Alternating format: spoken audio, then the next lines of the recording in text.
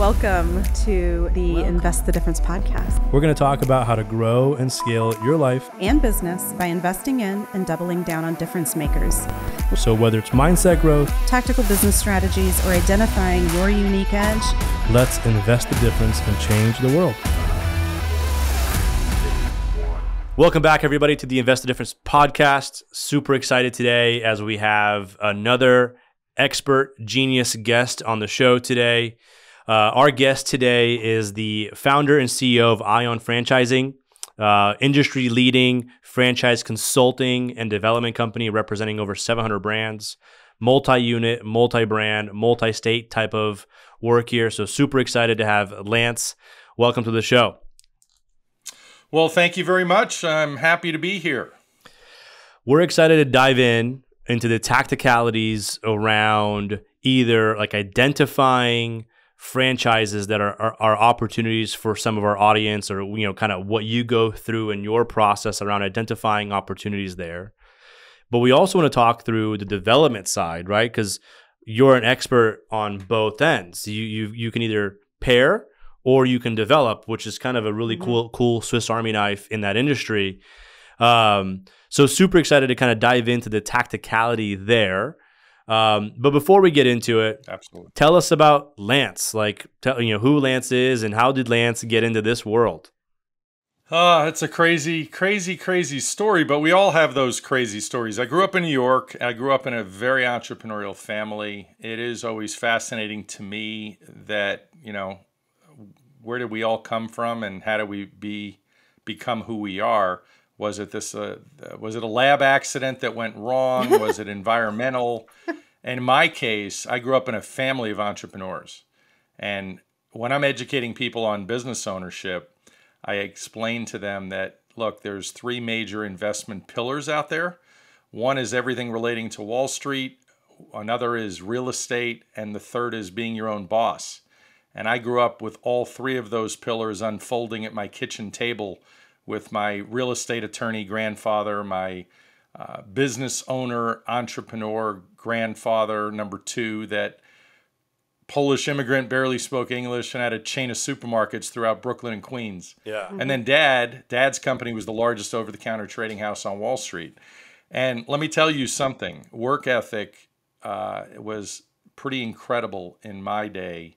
Nobody ever had a day off, everybody worked their asses off and that's Gosh. how I grew up and became successful. I miss period. those days. So I I fell into franchising truth, truthfully when I was bored on Wall Street and dad says to me, "Hey uncle Steven is building a billion dollar restaurant company in Arizona. Why don't you go visit him and see if that's something you want to do?" And we ended up building a TGI Fridays franchise in the late 80s to 225 million a year. A lot of acquisitions, some new builds as well, but within within uh, five and a half years. So that was a hell of an education of mine, listening to him negotiate leases and everything. And uh, that, but that got me started in franchising, and I realized, wait a second, this is freaking easy. I got I get to follow somebody else's system you know? And and fridays is a whole other story because there are some brands that peter as time goes on you know? Those yeah. big box bar restaurant concepts even today are incredibly difficult. But that that as an aside most people don't realize that franchising isn't just all restaurants. Um, there are 5000 plus franchise brands and you know, from home care to business services, and virtually anybody with an SBA loan can jump into a franchise with very little cash. So that's how it all got started for me. And today, as yeah. a franchise broker, I show people brands that fit them, whether they're believers in franchising or not. I can make them a believer and show you the proof, show you that profit path, which I know you two love to hear about. I think it's funny when people don't believe in things right? Like I don't believe in franchising. I'm like, well, it's very real. Like it's, it's, it's literally right there. Like, you know, like uh, we we work with specifically. I, I hear it. Uh, with a few families that have depth in some big franchise brands, so I, I understand that world. Uh, you know, probably at one percent level that that you do. But you actually brought up something really interesting that I want to just jump in straight into. Like, let's just go into it. Like you said, anybody with an SBA loan can get into a franchise in very little cash. How does that one statement specifically apply in today's world where an SBA loan is is you know, is bordering 10% interest? Does the, does it still cash flow? Is the opportunity still there? Yeah. No, there's no doubt. There's no doubt that uh, it is always more difficult when you are uh, using leverage and especially expensive money. But you know what, guys? It goes back to look how anybody that's listening that's ever done real estate, fix and flips, or anything else like that, you're not using, you know, what I call clean, low interest money. In most cases, you're leveraging hard money loans, especially when you're getting started. No different for this business. So if you want to consider an SBA loan almost junk bond level yeah. financing, then that's what it is. But the idea is look, it's it's all the starting point. It's all a starting point. You've heard plenty of people out there say, you want to do something bad enough, throw it on a credit card. Well, I don't necessarily subscribe to that. I've screwed up quite a few things in my past just jumping in, not having an appropriate foundation. My problems in the past are mo- mostly due to trusting partners, which is a whole other conversation for another day. But the answer is yes, you can absolutely do it with an SBA loan today. You guys are probably well aware, some of the audience might be aware, but SBA loans are 2.75% above prime. That's the interest rate. There's no such thing as a fixed SBA loan. And uh, the good news is it is a variable rate. So when rates come down, hopefully next year, I don't think we're going to see them come down this year, mm. but uh, you know, you, you have the ability to do a refi or uh, you know yeah. whatever, figure out some other financing as you start cash flowing. Lance, let me ask you this: as somebody who knows very little myself about franchises, um, you know, we kind of explored an opportunity last year at some point, so I got a, a quick little tutorial on it. But how do you know if a if a franchise is a a good opportunity for you or not? Like why why would I even want to consider possibly getting into the franchise business? Such a wonderful question. I think it's all starts with when I was talking about the three pillars of investing. If you're deciding that, hey, I want to have a business, you need to consider franchising because it would be silly not to consider franchising. And so when you're considering a franchise, there's a lot of integrity in the process. You can still pick the wrong brand for you, which is a problem, like picking the wrong spouse. I did that the first time around. I'm not proud of it, but I'm telling you, I did it. So the bottom line is when okay. you get a franchise disclosure document in your hand after you're exploring a brand, there's 23 items in every franchise disclosure document. It's like reading your mortgage in a way. But franchising is regulated by the federal government. So in those 23 items, there's an item 19, which is really an earnings claim. And you're going to see great information in there that's going to tell you, you know, it's pretty cool. This air conditioning franchise, the average franchisee does three and a half million in revenue. And this is audited information. And likewise, as you proceed in the process with a brand, any great franchise brand that I introduce you to, you'll have an opportunity to speak to existing franchisees. We call that the validation process. And when you speak to existing franchisees, what are smart people like you going to be asking them? Would you do it over again? Do they support you? Do they make money? Do you make money? Uh, things like that. How much money do you make? And you'll find that when you're talking to people that are really happy and you feel like there's a cultural fit, this is a brand for you. But, you know, look, brands like Quiznos in the past have given franchising a black eye. They did some bad things to franchisees. Franchisees lost a lot of sales, lost a lot of money. They were greedy. They put stores on top of each other. Franchise laws are set up to protect franchisees as well, but you got to pick the right franchise. And that's what I'm going to help you with. What industry generally produces some of your favorite franchises? Well, no doubt, everybody listening, including you two, it's all about restaurants for a lot of people. They're very visible. Everybody knows McDonald's and Chick fil A and Wingstop and Krispy Kreme donuts. Wingstop and Krispy Kreme are brands that I owned before. I was president of the Franchise Advisory Council for Wingstop in the early days when most of my friends didn't even want to get into Wingstop. Like, what's that? Just chicken wings? well, they didn't they didn't share my vision. So restaurants are incredibly prominent.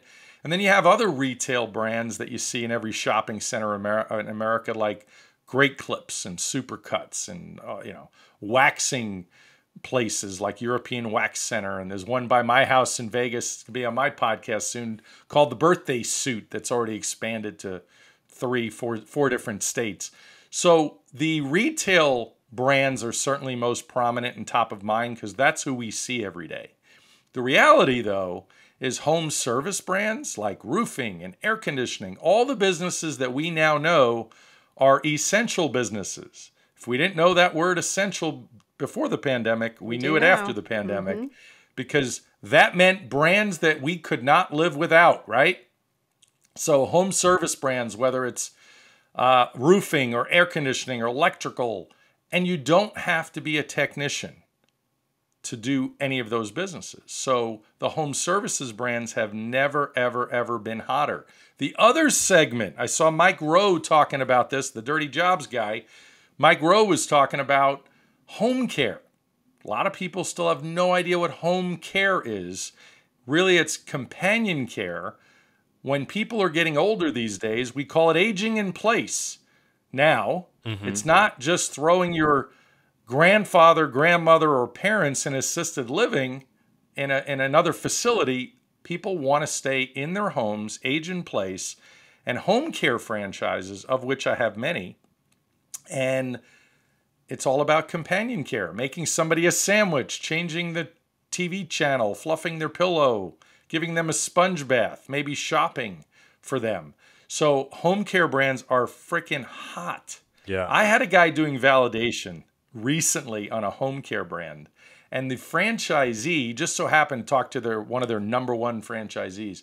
He goes, "Yeah, on a hundred and fifty thousand dollar investment, I did four million in sales last year and net over a million. My client was like, "Wait, what? what? what? Yeah, you net over a million dollars in a year, and you invested 150,000. What? Have you seen an and, uptick? And not, you know, not everybody's going to have those results. Have you seen an uptick in new franchises being created since the pandemic? Oh yeah. Yeah. I mean, since since uh, technology has really become omnipresent, franchising has taken off because now with technology in place from things like learning management systems to get staff up to speed to uh, you know the internet and uh, call centers you know uh, one of the biggest advantages that franchise brands have over independents is speed. Mm-hmm. an average independent if you're a painter are you answering your phone when you're painting? No franchises have call centers and someone is going to answer that call or the home advisor or Angie's List inquiry immediately. Get you a bid, get you the information you need. So, to answer your question, Bernadette, yeah, there has been a major uptick in franchising over the years, especially through the pandemic. Franchising killed it through the pandemic, especially as people are stuck at home. Right. And you're like, wait a second, we've been saying we're going to get this floor redone for five years. We need to get it done now. We're home all the time. No issues setting appointments. We're here. Come on in. so, as we're going down that path, right, to dispel the myth, because I imagine somebody that that is a technical individual that, like, let's just say they want to start their own AC company, right? They go, why would I pay somebody for their brand when I can go build my own AC company. Like let's let's work backwards there. So how do we break through question. that wall, right? This is an easy wall though. It's a it's a difficult wall for people that have thick heads and don't want to listen. Here's the reality because you asked a fantastic yeah. question. I've only been doing this 30 years. So this is one of my absolute favorite questions. And I was talking to a guy recently that had an air conditioning company. Okay? He was stalled he didn't know that, but he was. He was plateauing at about $750,000 a year. He was happy with the money he's making, netting over 20%, working for himself, working his ass off. And he said, Why the heck would I do an air conditioning franchise? Why would I pay somebody a $40,000 franchise fee to join and then pay them a 6 or 8% royalty, depending what the royalty is, ongoing, you know, for life? And I said, Because you're only doing $700,000, $750,000 a year. An average independent air conditioning company is going to do whatever the number is these days from the air HVAC associations. 800,000 a year, whatever the number is. Maybe let's call it a million. My favorite air conditioning franchise, the average franchisee is doing three and a half million a year. Why is it? Why is it so different? I think different? you can afford why, to pay like, a four. Why is it such a drastic difference? What was though? that? Why is it such a drastic difference? Right? Because of scale, Systems. because of systems. Like what? What brings systems mark systems and marketing what most people do you're asking better questions than most people i give you lot, lots of credit the the truth is the truth is being a business owner myself when i was with wingstop and there were people that were struggling to get their sales to where they needed to be a lot of people have a difficult time in the beginning investing in their people having the appropriate staffing okay so what happens in the HVAC business, which is the specific question Yeah. or issue we're talking about, is owners will not hire the appropriate amount of people. And all of a sudden jobs take longer. You can't complete the job. You won't be able to get to the customer within a timely basis. And sales falter because of that. Short answer. Yeah, so so let me let me pivot here for a minute, right? Because I, I I love uh, growing and scaling businesses. It's truly uh, I'm a nerd in that space. Do you consider franchising scaling? Like, let's just say Absolutely. we are a business, right? Like, and we want to grow and scale our business. Why would uh, someone franchise versus doing like a private equity joint venture type of location? Like, let's just say I want to launch a new location of my business. Instead of me going down the franchise route, I'm going to go find an operator and let them buy into that location, not in a franchise model, but like a more of a joint venture type. Yep. Funny you should ask that question. Just yesterday, I had a gentleman from New York who has a home service brand reach out to me through a, through a referral. Most of my business is referral, although podcasts like this get me lots of business. And this gentleman was awesome. He was young, he was aggressive. He already has put partners in place in different cities doing his model. And he asked me the exact same question yesterday. And my answer to him was you can continue to do exactly what you're doing. You can put partners in place. You can have attorneys writing up agreements and customizing those agreements. And he was actually getting a piece of the profits. Now, if you mimic a franchise and you're taking a piece off the top, like a typical franchise royalty, not a piece of the profits, and you try to duplicate that in most states, you're going to get a lot of trouble because it looks too much like a franchise. More than likely, a competitor will will rat you out to, you know, call the Capitol building that handles business and industry and oversees franchising in that state, and you're gonna you're gonna have a big problem. So he was looking to take a piece of the profits from his partners.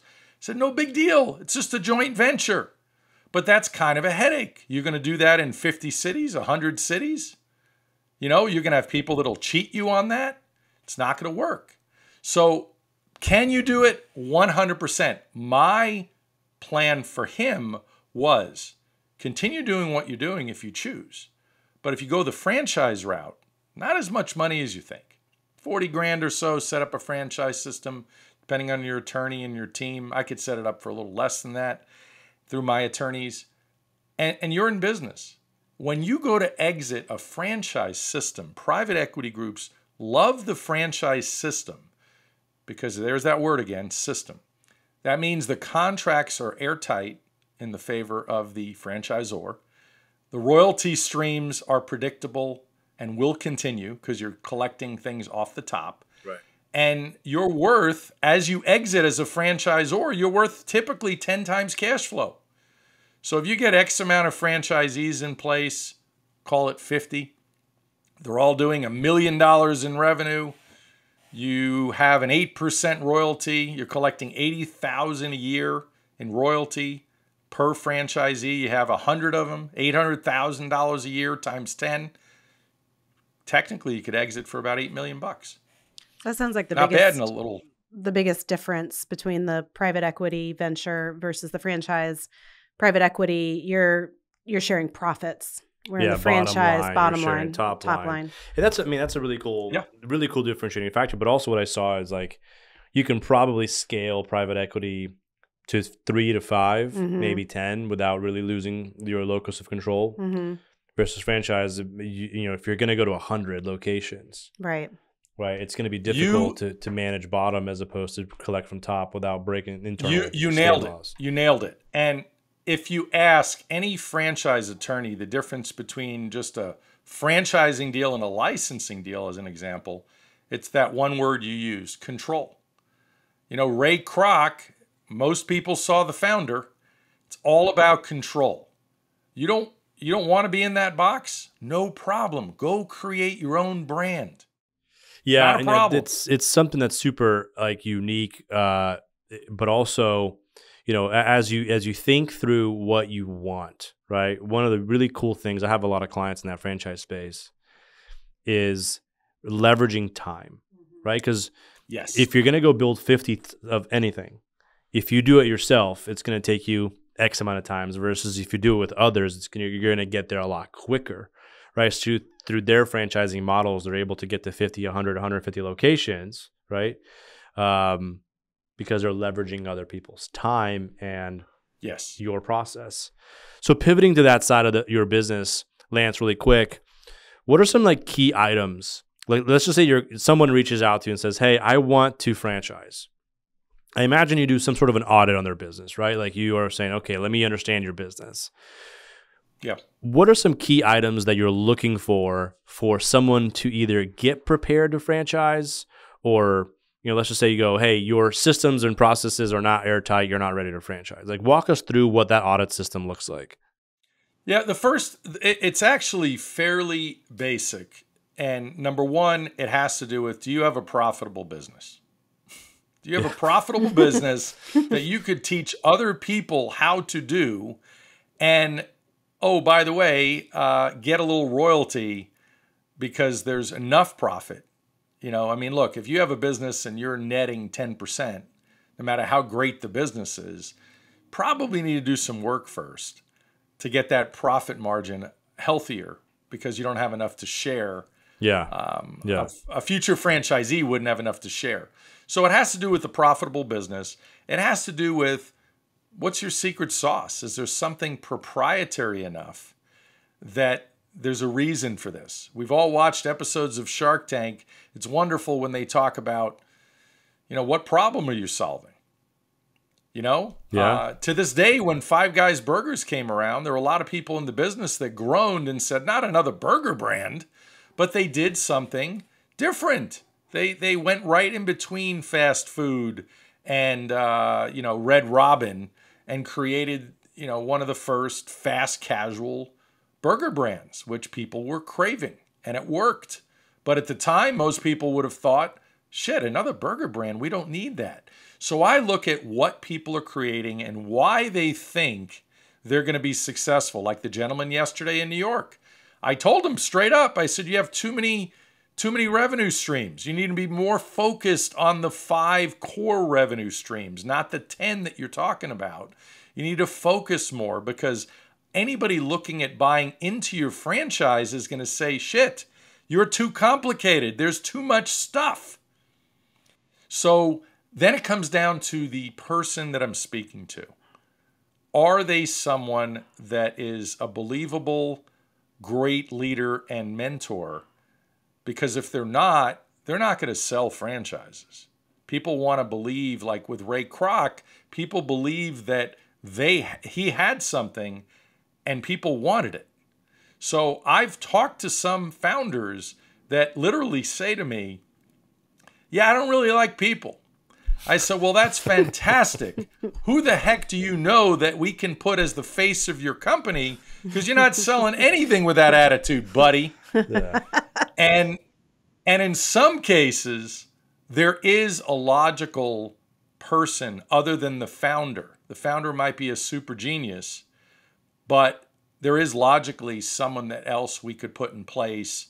So that those are really the most important things. Profitability, the founder, the systems and the the secret sauce, the proprietary nature of what they're doing. I love, look, I have a buddy of mine that's now an owner and CEO of the first power washing brand. I know it sounds crazy. The first brand that'll probably be nationwide in franchising that does that focuses on power washing.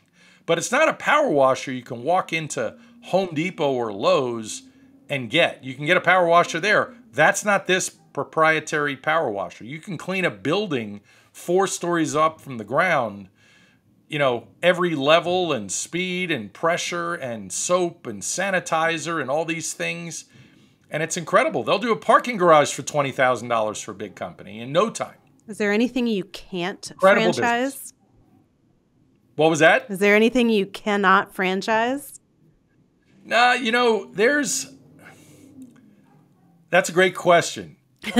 I'm sure there is, but there has to be a system to what you're creating. So you have to have value. Everything in life, we all know, whether it's a burger or a franchise, there has to be value.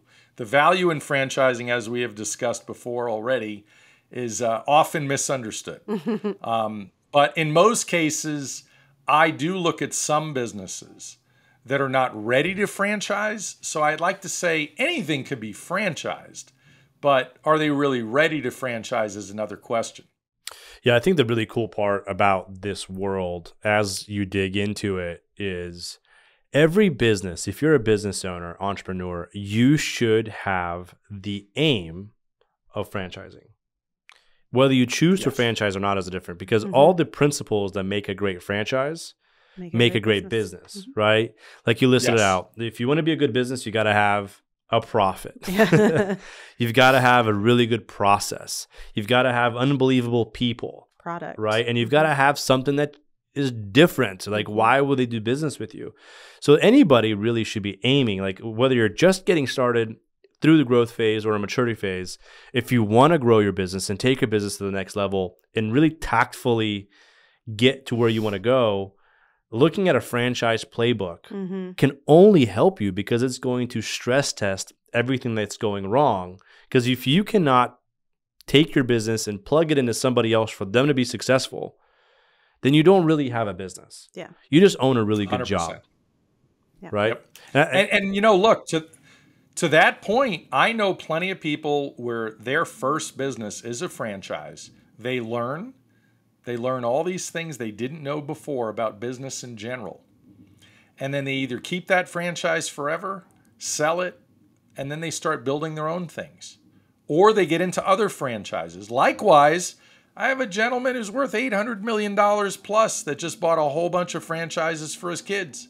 He was no longer going to retire, uh, create another business. He was retired. He wanted something his kids can do and know that somebody else is supporting him. And all he and his attorney have to do is make sure they're following the system. And oh, by the way, I'm their free business coach mm-hmm. after they invest. I'll, I'll be your free coach being a top franchisee in the past myself to make yeah. sure you stay on track. Where do you see things go wrong? Like, let's talk about like, because that's also another mm-hmm. parallel to being a good business owner, right? Like, where do you see franchising go wrong? Yeah, I, I think it's the same thing in any any business. But while we're talking about franchising, quite simply, people pick the wrong franchise for them. I have a gentleman that owned a small home services brand, and he had the idea in his head that he wanted to do a business consulting type franchise. Um, and he settled on that. I warned him, I warned his wife. I said, You have never done sales like this, and there is a learning curve. I know it's a light investment. I know you think you're going to want to get up in the morning and have conversations with other business owners. It was strictly B2B. Within six months, he called me and goes, You're right, I don't like it. I mean, that's it. It doesn't get any more simple than that. He had this fascination, this lust, this fantasy that he's going to do a clean, white collar business to get out of his blue collar business. It's as simple as it gets. It was a complete mismatch. And he convinced me that he can do it because he was a nice guy. So he ended up handing the business to his cousin, who was a salesman, salesperson. And uh, they worked out a deal and it was fine. It all worked out. But it was, in most cases, though, people get into a business where it goes wrong and the, and something else, you know that whole squirrel thing? Squirrel. The next yeah. shiny object pops up. We don't have that problem. And they realize I'm not going to do this business and they hand the keys to the business to their son, their brother, their sister, their spouse and say I'm going to go do this new biotech company that I was planning 10 years ago and couldn't figure out how to do it. Um, so you're going to handle this auto franchise. And those people aren't suited for it. So typically, if every single franchise system, whether it's McDonald's, Fast Signs, or an HVAC franchise, there, there's a garage franchise that I represent. Garages. There's an owner that's going to exit for a hundred million dollars. Garage repair and maintenance and replacement, hundred million dollars. I'm I'm going to guess there's someone not successful in that franchise. There's definitely people not successful in almost every franchise, and it's typically the person. Well, it's always it's typically the person. the person. I have people all the time that ask the question. Well, Lance, how are you going to find me the right franchise? I don't want the wrong franchise and I fail. I said, You're going to fail because of you, not the franchise. Because I'm going to put you in the right franchise that all you have to do is do the work. Do you think. And then all of a sudden the light bulb goes off. As someone's identifying risk, right? As a business owner, as an investment, right? Those three pillars of investments. Do you think franchising is the least risky or the most risky, or where does it stand in the risk column? So let's go back to the skill set of the individual I'm finding a franchise for. There are times I'm talking to people, like a gentleman literally early this morning, a couple hours ago. 20 years in the Navy, he built up a couple of his own businesses.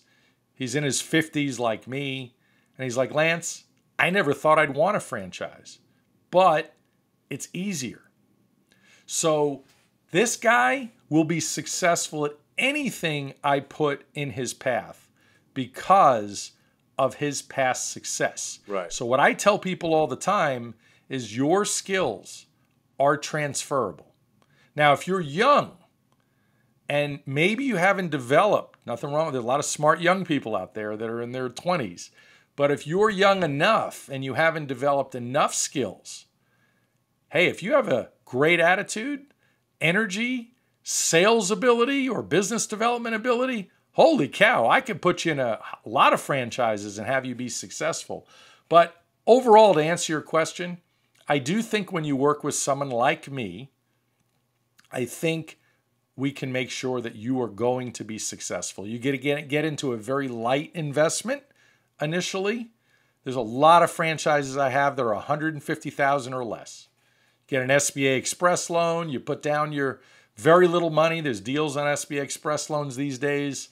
The question becomes, though, I call it the bridge.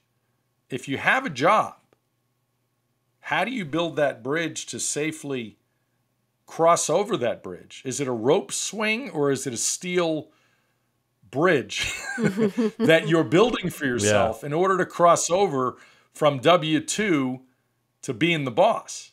And there are a shit ton of franchises that we call semi absentee, the goofy franchise term we call semi absentee, where you can keep your day job, hire somebody to run the business. You're still involved, but you're only spending 10 to 20 hours a week on the business, not necessarily in the business. So, franchising is safe as heck when you are the right individual working with someone like myself. Awesome.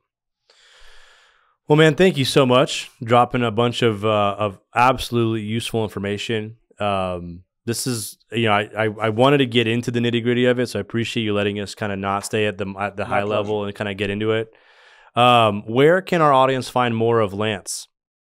So I have a podcast, Eye on Franchising, EYE on Franchising.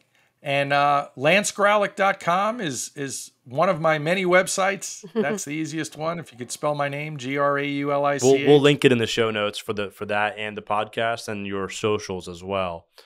Perfect. Um, yeah, Instagram. Uh, pretty big on Instagram. Love Instagram. Uh, but yeah, happy to talk to anybody. My services are free. In case you didn't realize that, my services are actually get free. I get paid something by my brands awesome. to help bring great people to them. So uh, appreciate you guys having me. Very good, man. Yeah. I really appreciate it. And everybody, thank you so much for being a part of the show today. Uh, we're going to continue to bring guests like this to continue to drive tactical value to the bottom line and helping you continue to invest in the difference makers to help grow and scale your life. Until the next one, see you around.